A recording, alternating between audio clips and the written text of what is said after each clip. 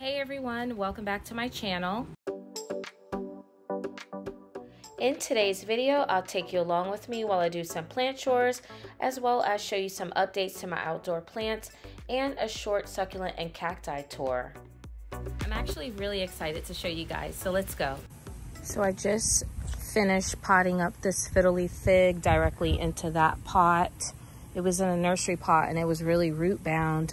It grew up so tall since I got it and I just had it over there by the tree for a while since I just moved here and I haven't had a chance to really repot all of those plants that were outside. So I just did that and then I just repotted this Prince of Orange. So I'm kind of going with the same color scheme as before, whereas I had the white pots inside and I have the orange or terracotta colored pots outside. So, so far, two down and I have this aloe plant. See, a lot of these plants are sitting in there in the nursery pots, but I need to take them out and plant them directly. So I have this aloe plant, also have all the plants that you see in the terracotta pots on the white stones, all of those need to be potted directly into the terracotta pots. And let's see, also have this moonlight philodendron right here. And I have that fire stick euphorbia, which I gotta be really careful when I'm potting that up. I don't wanna get any sap on me so I'm probably going to have to wear a long sleeve shirt and gloves when I'm doing that.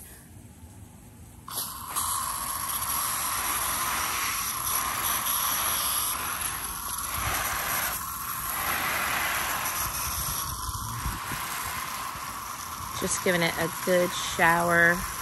Get any bugs or debris off the leaves.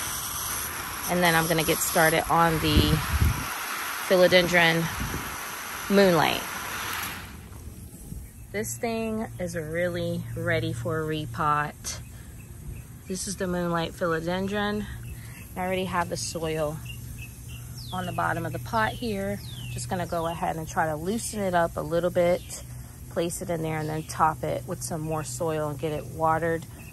Shower the leaves down. And then I think this will be the last one for today because I need more soil.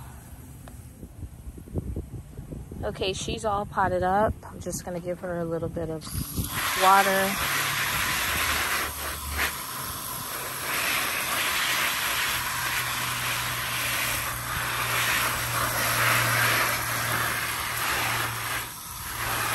She was getting pretty burnt up by the tree because the sun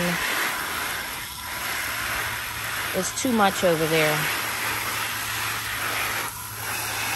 So now I have her on the patio where I have an umbrella. So hopefully that'll shade her from the sun as much as she needs. She has some growth points on here. That's one thing about these type of philodendrons. They constantly push out new growth.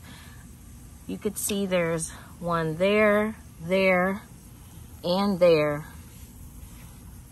So not really too worried about her. Whenever they get burnt up like that, I just trim down the leaves and they come right back.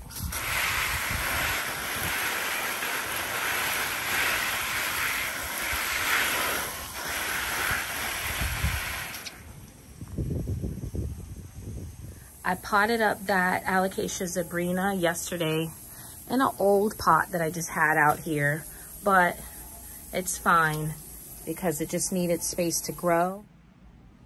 My Alocasia zebrina is putting out a new leaf.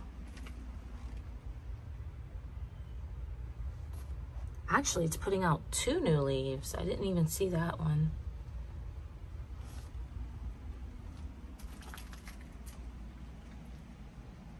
So on a side note, I wanted to show you guys the two largest iguanas that live over here on the lake. And then there's a bunch of little ones. They don't bother anyone, but they do eat the vegetation. Um, my brother did say that he caught one of them chowing down on my Cebu Blue pothos that's around the tree, which that Cebu Blue shouldn't even be there because it's too much sun getting to it. But yeah, they do like to hang out over here close to the fruit trees. There's mango trees over there, so they do like to eat the mangoes and other types of vegetation.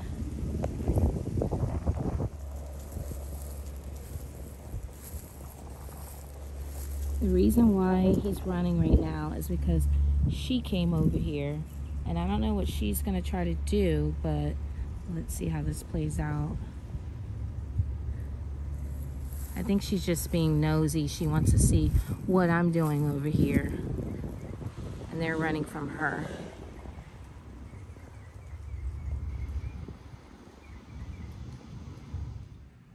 My olive tree is doing pretty good outside. It's actually pushing out a few new leaves right there.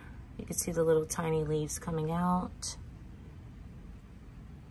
Also, I moved my Caladium Hilo Beauty outside because for some reason it's doing this cupping type of thing where the leaves are cupping downward. So I thought it would improve outside, but it's still doing that. Actually, it's just this one leaf.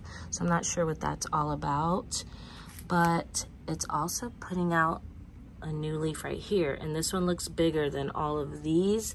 And I think it's because I moved it outside and it's getting more sunlight. Usually when it's inside, it's not getting as much sun. The leaves will come out smaller. So this one will probably be bigger.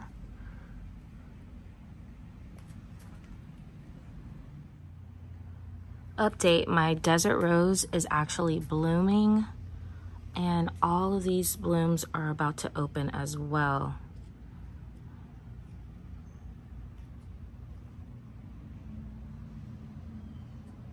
More of the flowers are opening. That's the original one. And that one right there opened. A couple of them right here.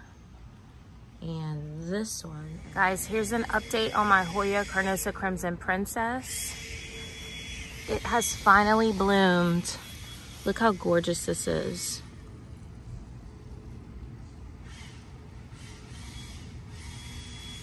That's the reward of having Hoyas these beautiful flowers.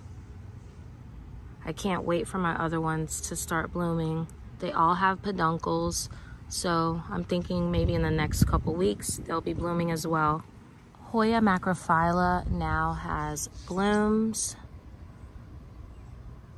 and several peduncles. So this one will be blooming soon. Hoya compacta now has two blooms. Has this one right here, so beautiful. And this does actually smell like chocolate. I smelled it yesterday. And it also has this one right here.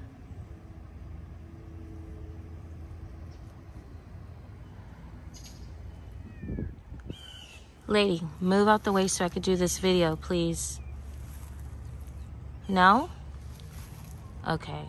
All right, you can be in the video. Also, I don't know if you guys remember that video when I did the plant shopping at Walmart haul with all the succulents and cacti. I'll link it above, but this is the Euphorbia lactea and it's growing so big. I need to get this out of the nursery pot and plant it directly into a regular pot. I'm not sure if I'm gonna leave it in that plastic pot or if I'm gonna go ahead and transfer it to terracotta because it's so big and heavy. I have a feeling it'll start falling over soon. So I'll figure that out. Also, I trimmed my variegated and my regular string of hearts. They were trailing down really low, but the bottom leaves are really small. So I went ahead and trimmed them and it didn't bother me at all because it promotes new growth.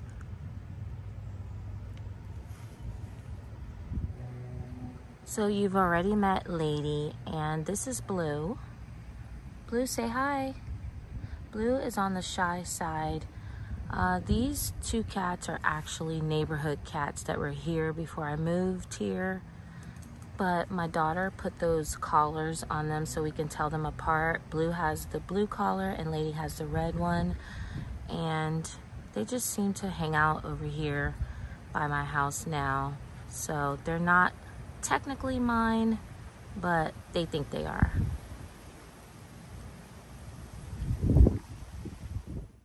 Here's an update on the two Monstera Deliciosas that I purchased from Lowe's and combined into this white pot. It's doing really well. It's growing a lot and most of the leaves are now fenestrated. At one point, some of the leaves on the right side were getting sunburnt when I had it here, but I just rotate it between this spot and where it's at right now and I just keep a close eye on it.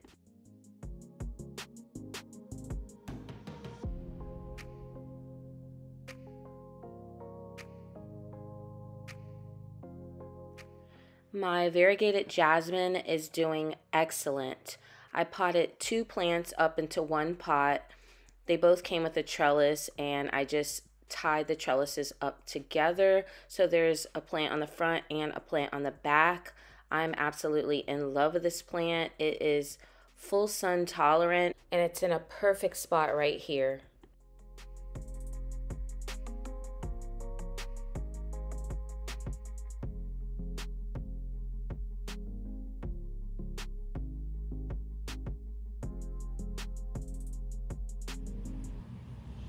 Here's a quick look at my cacti and succulents. While I don't know the name of all of them, if I do know the name, I'll mention it in the video. This is, I believe, a climbing aloe.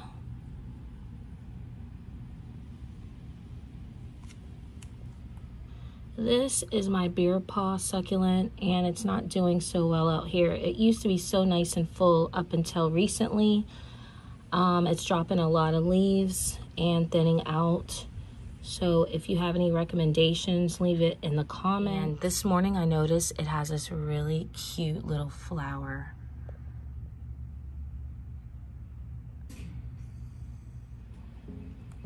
I love this one right here. It has these really fuzzy leaves.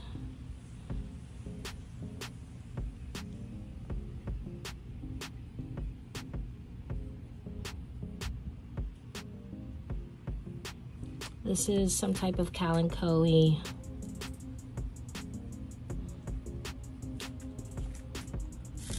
This is a euphorbia. I'll see if I can find the exact name of this. This is growing up nicely. That's a variegated elephant bush. It's thinning out. I gotta try to do something with that.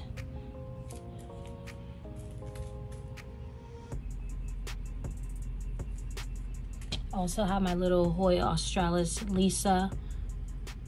If you have any cacti or succulents in your collection, leave a cacti emoji in the comments and let me know what's your favorite.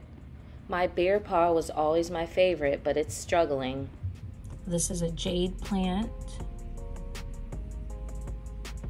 This is a variegated jade plant.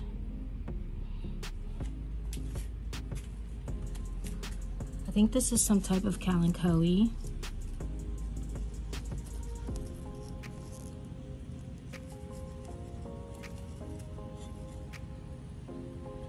This is a flapjacks kalanchoe. This is a raindrop echeveria. It's actually flowering right now.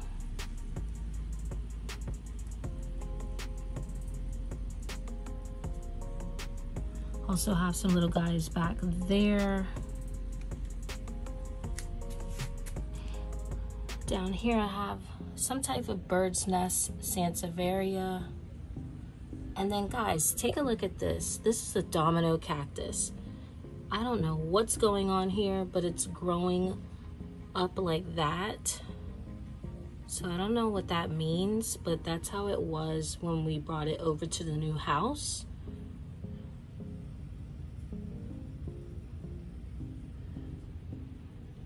That's some type of crested euphorbia. That's a key lime pie succulent.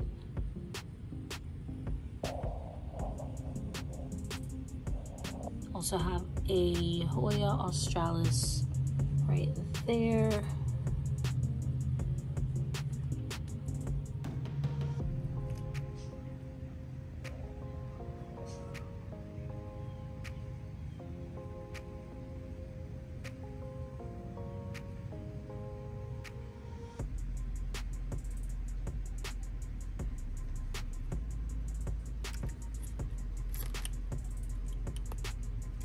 This one has such an interesting color. You could see the difference. It's so blue compared to the other green ones. I think that's a devil's tongue.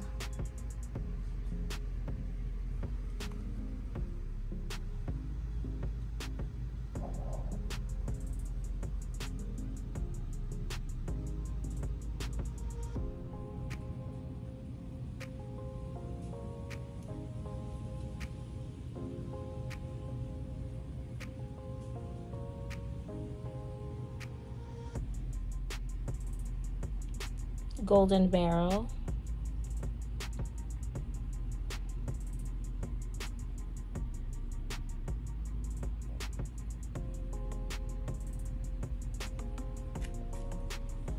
Cereus spiralis.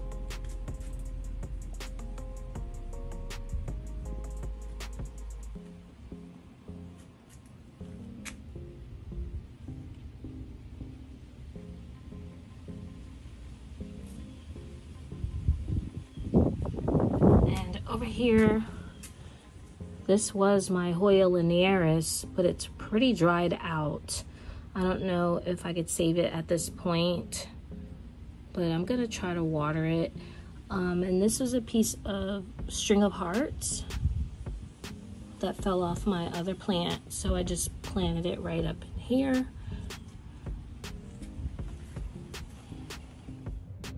Also, I think I have about three domino cacti already, but I bought another one. Got this from Home Depot. I just really like the look of the domino cactus, but also the beautiful white flowers that they put out. That concludes today's video. Let me know in the comments what plant chores are you working on and whether anything exciting is happening with your plants. Until next time, thank you guys so much for watching and take care.